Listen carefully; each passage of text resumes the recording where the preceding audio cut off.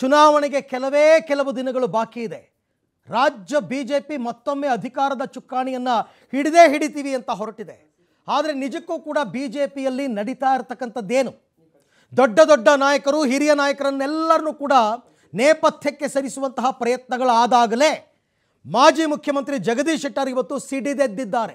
ಡೈರೆಕ್ಟಾಗಿ double barrel ಗನ್ನನ್ನು ಗುರಿ ಇಟ್ಟು ಹೊಡೆದಿರ್ತಕ್ಕಂಥದ್ದು ಯಾರಿಗೆ ಅಂತಂದರೆ ಒಬ್ಬ ವ್ಯಕ್ತಿಯಿಂದ ಬಿ ಜೆ ಪಿ ಹಾಳಾಗ್ತಾ ಇದೆ. ನನಗೆ ಟಿಕೆಟ್ ಸಿಗದೇ ಇರೋದಕ್ಕೆ ಅದೇ ವ್ಯಕ್ತಿ ಕಾರಣ. ರಾಮದಾಸ್ಗೆ ಟಿಕೆಟ್ ಸಿಗದೇ ಇರೋದಕ್ಕೆ ಅದೇ ವ್ಯಕ್ತಿ ಕಾರಣ. ಪಕ್ಷನಿಷ್ಠವಾಗಿ ಉಳಿದಿಲ್ಲ ಬಿ ಜೆ ಪಿ ವ್ಯಕ್ತಿನಿಷ್ಠವಾಗಿದೆ.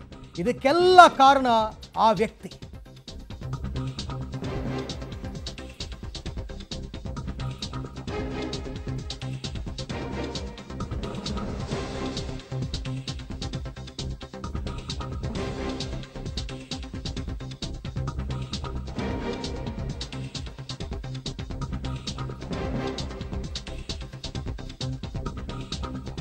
ಬಿಜೆಪಿಯಲ್ಲಿ ಅಸಂತೋಷ ಅಸಂತೋಷ ತಾಂಡವವಾಡ್ತಾ ಇದೆ. ತುಂಬ ಜನ ನಾಯಕರು, ಅನ್ನಂಗಿಲ್ಲ, ಬಿಡಂಗಿಲ್ಲ, ಬಿಸಿ ತುಪ್ಪ ನುಂಗಂಗಿಲ್ಲ, ಉಗಳಂಗಿಲ್ಲ. ಆದರೆ ಜಗದೀಶ್ ಶೆಟ್ಟರ್ ಹಾಗೆ ಮಾಡಲಿಲ್ಲ. ಹೇಳಿಬಿಟ್ರು ಇವತ್ತು. ಏನು? ಇನ್ನೂ ಕೂಡ ಬಿ ಜೆ ಪಿಯಲ್ಲಿ ಬೆಂಕಿ ಆರ್ತಾ ಇಲ್ಲ. ಭುಗಿಲೆದ್ದಿದೆ ಲಾವಾ ಪ್ರವಾಹ ಒಂದು ರೀತಿ. ಮುಖಾಮೂತಿ ನೋಡ್ದೇನೆ ಟ್ರಿಗರ್ ಎಳೆದಿದ್ದಾರೆ ಶೆಟ್ಟರ್. ಯಾರ ವಿರುದ್ಧ? B L Santosh. ಇದಕ್ಕೆಲ್ಲ ಕಾರಣ ಬಿ ಎಲ್ ಸಂತೋಷ್. ನೇರಾನೇರ ಆರೋಪ ಶೆಟ್ಟರ್ ಅವರು ಮಾಡಿರ್ತಕ್ಕಂಥದ್ದು ಬಿ ಎಲ್ ಸಂತೋಷ್ ವಿರುದ್ಧ. ಜೊತೆಗೆ ಬೆಂಬಲಕ್ಕೆ ನಿಲ್ಲದ ತಮ್ಮ ಆತ್ಮೀಯ ಸ್ನೇಹಿತ ಪ್ರಹ್ಲಾದ್ ಜೋಶಿಗೂ ಪಂಚಿಕೊಟ್ಟಿದ್ದಾರೆ ಇವರಿಬ್ಬರೂ ಸೇರಿ ನನ್ನ ಟಿಕೆಟನ್ನು ಮಿಸ್ ಮಾಡಿದ್ದಾರೆ. ಬಿ ಜೆ ಇವತ್ತೊಂದು ದಿನ ಈ ಪರಿಸ್ಥಿತಿಗೆ ಬರೋದಕ್ಕೆ ಇವರಿಬ್ಬರೇ ಕಾರಣ. ಮತ್ತೊಂದು ಕಡೆ ರಾಮದಾಸ್ ಕೊತ ಕೊತ ಅಂತ ಇದ್ದಾರೆ. ಪಾಪ ಅವ್ರು ಏನೂ ಮಾತಾಡೋಕ್ಕಾಗ್ತಾ ಇಲ್ಲ. ಜಗದೀಶ್ ಶೆಟ್ಟರ್ ಆದರೂ ಓಪನ್ ಆಗಿ ಹೇಳಿದ್ರು. ಆದರೆ ರಾಮದಾಸ್ ಹಂಗಿಲ್ಲ, ಪರಿಸ್ಥಿತಿ ಮಾತಾಡೋಕ್ಕಾಗ್ತಿಲ್ಲ. ಬಟ್ ಮನ್ಸಲ್ಲಿ ಗೊತ್ತು ತನಗೆ ಟಿಕೆಟ್ ತಪ್ಪಿರೋದಕ್ಕೆ ಯಾರು ಕಾರಣ ಅಂತ. ಅನ್ನಂಗಿಲ್ಲ, ಬಿಡಂಗಿಲ್ಲ. ಮತ್ತೊಂದು ಕಡೆ, ಪಕ್ಷವನ್ನು ಕಟ್ಟಿ ಬೆಳೆಸಿದ ದಿವಂಗತ ಅನಂತಕುಮಾರ್ ಅವರ ಪತ್ನಿ ಪಾಪ ಹೇಳಬೇಕು, ಹೇಳೋಕ್ಕಾಗ್ತಿಲ್ಲ. ಟ್ವೀಟ್ಗಳ ಮುಖಾಂತರ ಮಾರ್ಮಿಕ ಮಾತುಗಳನ್ನು ಆಡ್ತಾ ಇದ್ದಾರೆ. ಮಾತು ಬೆಳ್ಳಿಯೋ ಅಲ್ಲವೋ ನನಗೆ ಗೊತ್ತಿಲ್ಲ. ಮೌನವಂತೂ ಬಂಗಾರ ಅಂತ.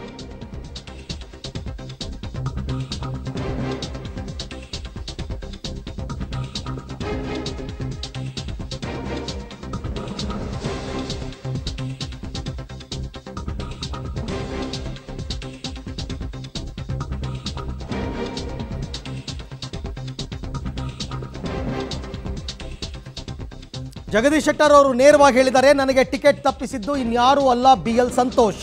ಪವರ್ಫುಲ್ ವ್ಯಕ್ತಿ ಬಿ ಎಲ್ ಸಂತೋಷ್ ವಿರುದ್ಧ ಮೊಟ್ಟ ಮೊದಲ ಬಾರಿಗೆ ಬಿ ಜೆ ಪಿಯವರು ಬಿ ಜೆ ಪಿನಲ್ಲಿ ಇದ್ದಂಥವ್ರು ಆಡಿರ್ತಕ್ಕಂಥ ಮಾತು ಆ ಹೆಸರನ್ನ ಕೂಡ ಹೇಳೋದಕ್ಕೆ ಹೆದರ್ತಾ ಇದ್ರು. ಬಿ ಎಲ್ ಸಂತೋಷ್ ಅಂತ. ಅವ್ರು ಹೇಳ್ತಾರೆ, ರಾಜ್ಯ B J P B L Santosh ಅವರ ಹಿಡಿತದಲ್ಲಿದೆ, ಅವರ ಕಪಿಮುಷ್ಟಿಯಲ್ಲಿದೆ ರಾಜ್ಯ ಬಿ ಜೆ ಪಿಯಲ್ಲಿ ಈಗ ಪಕ್ಷಕ್ಕಿಂತ ವ್ಯಕ್ತಿಯೇ ಮುಖ್ಯವಾಗಿದ್ದಾರೆ. ಮಹೇಶ್ ತೆಂಗಿನಕಾಯಿ, ಸಂತೋಷ್ ಅವರ ಮಾನಸ ಪುತ್ರನಿಗೋಸ್ಕರ ನನಗೆ ಟಿಕೆಟನ್ನು ತಪ್ಪಿಸಿದ್ದಾರೆ. ಸಂತೋಷ್ ವರ್ತನೆಯಿಂದ ಪಕ್ಷದ ಅಡಿಪಾಯ ಅಡುಗ ಅಲುಗಾಡಲಿದೆ. ಇದು ದಿಸ್ ಇಸ್ ವೆರಿ ಡೇಂಜರಸ್ ಪಕ್ಷದ ಬುಡವೆ ಅಲ್ಲಾಡ್ತಾ ಇದೆ. ಯಾರಿಂದಾಗಿ? ಬಿ ಎಲ್ ಸಂತೋಷಿಂದಾಗಿ ಬಿ ಎಲ್ ಸಂತೋಷ್ ವಿರುದ್ಧ ಗಂಭೀರ ಆರೋಪವನ್ನು ಜಗದೀಶ್ ಶೆಟ್ಟರ್ ಅವರು ಮಾಡಿದ್ದಾರೆ. ಕೆಲವರಿಗೆ ಹಾಲು ಕುಡಿದಷ್ಟು ಸಂತೋಷವಾಗಿದೆ ಬಿ ಜೆ ಪಿಗರಲ್ಲೇ ಯಾಕೆ ಗೊತ್ತಾ? ನಾವು ಹೇಳೋಕ್ಕಾಗಲಿಲ್ಲ.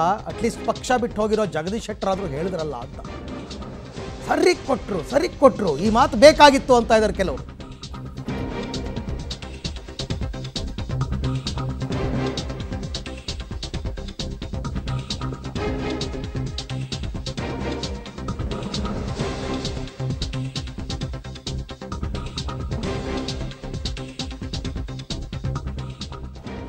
ಓಕೆ ಪ್ರಹ್ಲಾದ್ ಜೋಶಿಗೂ ಕೂಡ ಜಗದೀಶ್ ಶೆಟ್ಟರ್ ಪಂಚ್ ಕೊಟ್ಟಿದ್ದಾರೆ. ಕೇವಲ ಬಿ ಎಲ್ ಸಂತೋಷ್ ಮಾತ್ರ ಅಲ್ಲ, ಜೋಶಿ ಕೇಂದ್ರದಲ್ಲಿ ಮಂತ್ರಿಯಾಗಿದ್ದಾರೆ. ಎಲ್ಲರ ಜೊತೆ ಉತ್ತಮ ಒಡನಾಟವನ್ನು ಇಟ್ಕೊಂಡಿದ್ದಾರೆ. ನನ್ನ ಪರವಾಗಿ ಯಾಕೆ ಧ್ವನಿ ಎತ್ತಲಿಲ್ಲ ಅವರು? ನನಗೆ ಟಿಕೆಟ್ ಕೊಡಿಸ್ಬೇಕಾಗಿತ್ತು ಜೋಶಿ ಅವರು. ಸಂತೋಷ್ ಅವರಿಗೆ ಮನವರಿಕೆ ಮಾಡಿಕೊಡ್ಬೇಕಾಗಿತ್ತು. ಯಾಕೆ ಮಾಡಿಕೊಡ್ಲಿಲ್ಲ? ಜೋಶಿ ಅವ್ರನ್ನ ಸಂಸದರನ್ನಾಗಿ ಮಾಡೋದಕ್ಕೆ ಹಗಲು ರಾತ್ರಿ ನಾನು ಎಷ್ಟು ಕಷ್ಟಪಟ್ಟಿದ್ದೀನಿ. ಅವ್ರಿಗೆ ಗೊತ್ತು. ನಾನೇನು ಬಾಯ್ ಬಿಟ್ಟು ಹೇಳೋದು ಬೇಕಾಗಿಲ್ಲ. ಪ್ರಹ್ಲಾದ್ ಜೋಶಿ ಅವರು ಹಳೆದನ್ನೆಲ್ಲ ಮರಿಬಾರ್ದು ಅಂತ ಜೋಶಿ ವಿರುದ್ಧ ಕೂಡ ಜಗದೀಶ್ ಶೆಟ್ಟರ್ ತಮ್ಮ ಅಸಮಾಧಾನವನ್ನು ಹೊರಹಾಕಿದ್ದಾರೆ. ಸೊ ಅವರು ಹೇಳಿರ್ತಕ್ಕಂಥದ್ದು, ಹೆಸರಿಸತಕ್ಕಂಥದ್ದು ಎರಡು ಹೆಸರು ಪ್ರಮುಖವಾಗಿ. ಒಂದು, ಇವತ್ತಿನ ಬಿ ಜೆ ಪಿಯ ಪರಿಸ್ಥಿತಿಗೆ ಕಾರಣ ಬಿ ಎಲ್ ಸಂತೋಷ್ ಮತ್ತು ಜೋಶಿ ಅವರು ನನಗೆ ಅನ್ಯಾಯ ಮಾಡಿದ್ದಾರೆ. ನನ್ನ ಪರವಾಗಿ ಅವರು ಧ್ವನಿ ಎತ್ತಲಿಲ್ಲ. ಹಾಗಾಗಿ ನನಗೆ ಟಿಕೆಟ್ ಮಿಸ್ ಆಯಿತು. ನಾನು ರೆಬಲ್ ಆಗಿ ಇವತ್ತು ಈ ನಿರ್ಧಾರಕ್ಕೆ ಬರಬೇಕಾಯಿತು ಅಂತ ಅವರು ಕೊಟ್ಟಿರ್ತಕ್ಕಂಥ ಸ್ಟೇಟ್ಮೆಂಟ್. ತಂತ್ರ ಕುತಂತ್ರ ಇದೆ ಅಂತ ಜಗದೀಶ್ ಶೆಟ್ಟರು ಡೆಫಿನೆಟ್ ಸೀಟ್ ಇಲ್ಲ ಸೆಂಟ್ರಲ್ ಕಿಸಿಂದ ಈ ಸಲಂಕರ ಅತಿ ಹೆಚ್ಚಿನ ಮಾರ್ಜಿನಿಂದ ಆರಿಸಿ ಬರುವಂಥ ಪಾಸಿಬಿಲಿಟಿ ಇದ್ದಾಗ ಟಿಕೆಟ್ ಡಿನೈಲ್ ಯಾಕೆ ಆಯಿತು ಅನ್ನುವಂಥ ಪ್ರಶ್ನೆ ಬಂದಾಗ, ನನಗೆಲ್ಲ ಕಂಡು ಬಂದಂಥ ಉದಾಹರಣೆ ಅಂತಂದರೆ, ಒಬ್ಬ ವ್ಯಕ್ತಿ ಇಮಿಡಿಯೇಟ್ಲಿ ಕಂಡು ಬರ್ತಾರೆ, ಮತ್ತು ಇನ್ನೂ ಅವ್ರ ಅವ್ರ ಜೊತೆ ಇನ್ನೂ ಭಾಳ ಜನನೂ ಇರ್ಬೋದು. ಆದರೆ ನಾನು ಇಮಿಡಿಯೇಟ್ಲಿ ನಾನು ಕಂಡು ಬಂದಿದ್ದು, ಇವತ್ತು ಎಲ್ಲರೂ ಭಾಳ ಪೂಜ್ಯ ಅಂತ ಹೇಳೋದು ಸಂತೋಷ್ ಜಿ ಅಂತ ಹೇಳ್ತಾರಲ್ಲ, ಆ ಬಿ ಎಲ್ ಸಂತೋಷ್ ಅವರು. ಇದಕ್ಕೆಲ್ಲ ಮೂಲ ಕಾರಣ ಬಿ ಎಲ್ ಸಂತೋಷ್ ಅವರು. ನೋಡಿ ಯಾವ ರೀತಿ ಆಟ ಆಡಿದ್ರು ಅಂತಂದರೆ ಒಂದು ಸೀಟಿನ ಸಲುವಾಗಿ ಇವತ್ತು ನಾ ಅದಕ್ಕೆ ಟಿಕೆಟ್ ಅನೌನ್ಸ್ ಮಾಡಬೇಡ ಬೇಡ ಅಂತ ಹೇಳಿದ್ದೆ ನಿಮಗೆ. ಟಿಕೆಟ್ ಅನೌನ್ಸ್ ಆಯ್ತು ನಿನ್ನೆ.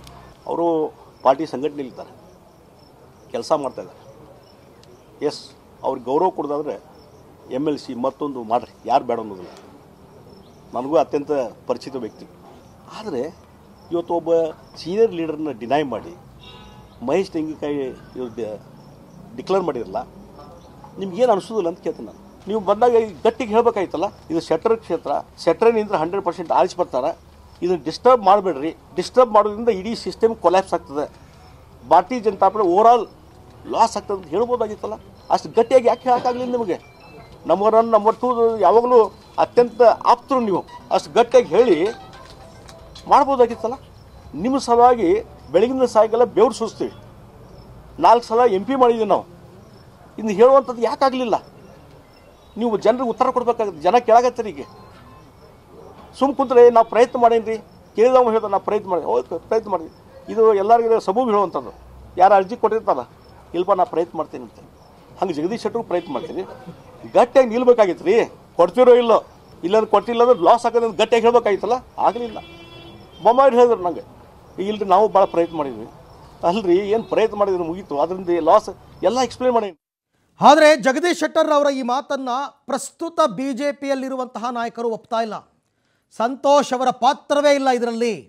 ಮಾತನಾಡಿದ್ದಾರೆ ಕೆಲವೆಲ್ಲ ನಾಯಕರು. ಏನೇನು ಮಾತಾಡಿದ್ದಾರೆ ನೋಡೋಣ ಬನ್ನಿ. ಎಲ್ಲೋ ಒಂದು ಲಿಂಗಾಯತ ಮತಗಳ ಕ್ರೋಢೀಕರಣಕ್ಕೆ ಎಲ್ಲೋ ಒಂದು ರೀತಿ ವ್ಯತಿರಿಕ್ತ ಪರಿಣಾಮ ಬೀರುತ್ತೆ. ಏನೂ ಆಗೋದಿಲ್ಲ. ಕರ್ನಾಟಕದ ರಾಜಕಾರಣದಲ್ಲಿ ಲಿಂಗಾಯತರ ಜಾಗೃತ ಮತದಾರಿದ್ದಾರೆ. ಯಾವಾಗ ಯಾವಾಗ ಅವ್ರ ನಿರ್ಣಯ ತೆಗೆದುಕೊಂಡಿದ್ದಾರೆ ಸರಿಯಾದ ನಿರ್ಣಯ ತೆಗೆದುಕೊಂಡಿದ್ದಾರೆ. ಕಾಂಗ್ರೆಸ್ ಪಕ್ಷ ಭಾಳ ಪ್ರೀತಿ ತೋರಿಸ್ತಾ ಇದೆ. ಚುನಾವಣೆ ಬಂದಮೇಲೆ ಲಿಂಗಾಯತರಿಗೆ. ಐದು ವರ್ಷ ಇರಲಿಲ್ಲ. ಎಲ್ಲಕ್ಕಿಂತ ಹೆಚ್ಚಾಗಿ ಕಾಂಗ್ರೆಸ್ ಪಕ್ಷ ಲಿಂಗಾಯತರನ್ನ ಒಡೆಯಕ್ಕೆ ಹೊರಟಿತ್ತಲ್ಲ. ಈ ಥರ ತೀರ್ಮಾನ ಜಗದೀಶ್ ಶೆಟ್ಟರ್ ತಗೊಳ್ಬಾರ್ದಾಗಿ ಕನ್ವಿನ್ಸ್ ಮಾಡುವಂಥ ಎಲ್ಲ ಪ್ರಯತ್ನ ಮಾಡೋದು. ನಿಮ್ಮ ಮನೆಯವರು ನಿಲ್ಲಿಸ್ತಪ್ಪ ನೀವು ಬೇಕಾದ್ರೆ ಅಲ್ಲಿ ಬಂದು ರಾಜ್ಯಸಭಾ ಮೆಂಬರ್ ಕೇಂದ್ರದ ಸಚಿವರಾಗಿ ಎಲ್ಲವನ್ನೂ ಹೇಳಿತು ಯಾಕೋ ಅವರು ಇಷ್ಟೆಲ್ಲ ನಾವು ರಿಕ್ವೆಸ್ಟ್ ಮಾಡಿಕೊಂಡ್ರು ಸಹ ಅವರು ಒಪ್ಪಲಿಲ್ಲ. ಆದರೆ ಒಂದೇ ನನ್ನ ಮನಸ್ಸಲ್ಲಿರೋದು ಏನೇ ಆದರೂ ಕೂಡ ಇವೆಲ್ಲ ಕೊಟ್ಟಿದ್ದು ಈ ಸ್ಥಾನ ಮಾನನ ಈ ಪಕ್ಷ. ನಾವೆಲ್ಲ ಬಹಳ ಸಲ ಹೇಳ್ತಿದ್ದು ತಾಯಿ ಸಮಾನ ಅಂತ. ಹಾಗಿದ್ದಾಗ ಜಗದೀಶ್ ಶೆಟ್ಟರ್ ಅವರು ನನ್ನ ಭಾಳ ಆತ್ಮೀಯರು, ನಾನು ಅವ್ರ ಜೊತೆ ಕೆಲಸ ಮಾಡಿದ್ದೀನಿ. ಅವರು ಕಾಂಗ್ರೆಸ್ಗೆ ಹೋಗಿರೋದು ನನಗೆ ಭಾಳ ವೇದನೆ ತರ್ತದೆ ದುಃಖ ತರ್ತದೆ ಅವ್ರ ಜೊತೆಯಲ್ಲಿ ಕುಂತಾಗ, ಅವ್ರ ಜೊತೆ ಭೇಟಿ ಮಾಡಿದಾಗ, ಅವ್ರ ಜೊತೆ ಊಟ ಮಾಡಿದಾಗ ಯಾವಾಗಲೂ ಬಿ ಎಲ್ ಸಂತೋಷ್ ಕೆಟ್ಟವರಾಗಿಲ್ಲ. ಇವರು ಪಕ್ಷ ಬಿಟ್ಟು ಬಂದ ತಕ್ಷಣ ಬಿ ಎಲ್ ಸಂತೋಷ್ ಕೆಟ್ಟವರಾಗ್ಬಿಡ್ತಾರ ಯಾಕೆ ಅಲ್ಲಿರೋವಾಗಲೇ ಆರೋಪಗಳು ಮಾಡಬೇಕಾಯ್ತು? ಹೊರಗಡೆ ಬಂದು ಮಾಡೋವಂಥದ್ದು ಏನಿದೆ ನಿಮ್ಗೆ ಅಷ್ಟೊಂದು ಅವರು ಅನ್ಯಾಯ ಮಾಡಿದ್ದಾರೆ ಅಂತ ಗೊತ್ತಿ ಮೊದಲೇ ಹೇಳ್ಬೇಕಾಯ್ತು. ಇವತ್ತು ನಿಮ್ಮ ಒಂದು ಅಧಿಕಾರ ದಾಹಕ್ಕೆ ನೀವು ಹೋಗಿ